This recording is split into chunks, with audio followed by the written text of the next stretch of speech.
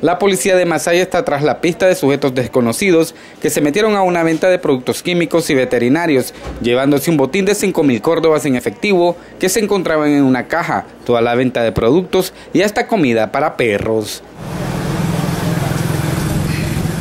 José Jarquín Mena llegó a su centro de trabajo y se encontró con una desagradable noticia. Sin embargo, fue detenido por la policía en calidad de investigado.